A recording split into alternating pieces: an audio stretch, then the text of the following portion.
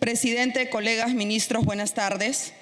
La campaña de desprestigio internacional contra el Perú no se detiene. Primero fueron los presidentes comunistas que chillaban por el golpista Castillo. Luego fueron los organismos de derechos humanos en alianza con los caviares y los neoterroristas. Y hoy tenemos a la CIDH con su informe ideologizado lleno de adjetivos que minimiza la violencia terruca y el gobierno de corrupción que sufrimos. Pero parece que esto no es suficiente, porque además de estos ataques, tenemos una creciente ola de migrantes indocumentados empujada por el gobierno de Boric, que vulnera nuestras fronteras y refuerza la amenaza a la seguridad de nuestros compatriotas. Frente a ese escenario, el país exige respuestas al gobierno. Para la señora ministra de Relaciones Exteriores dirijo estas preguntas. Uno, desde el 2016 la Cancillería ha recibido más de 600 mil solicitudes de refugio. Sin embargo, para el trámite no exigen la presentación de antecedentes policiales, penales o judiciales. Teniendo en cuenta que existe una comisión dedicada a esta labor, ¿cuántos ciudadanos venezolanos han recibido tal condición? ¿Se tienen datos biográficos y biométricos de cada uno de los solicitantes?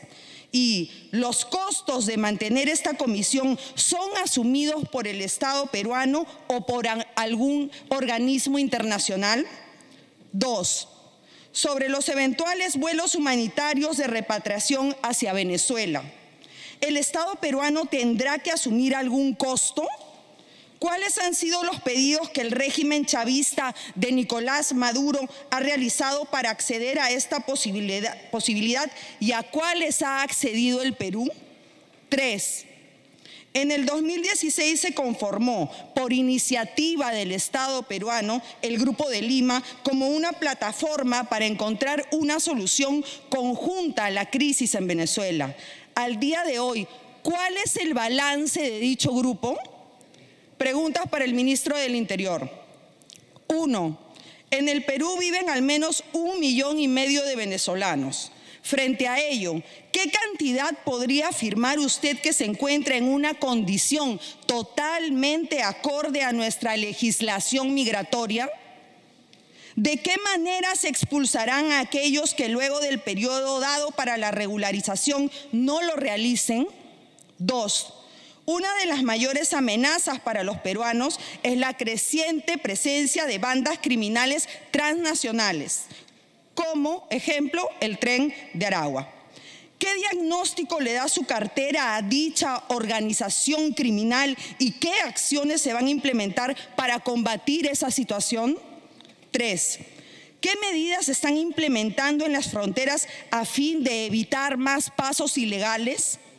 ¿Se ha considerado el cruce de información con Interpol, el gobierno venezolano, chileno o la recolección de datos biométricos? Esas son las preguntas que nos gustaría que se respondan por el bien del país. Muchas gracias, señor presidente.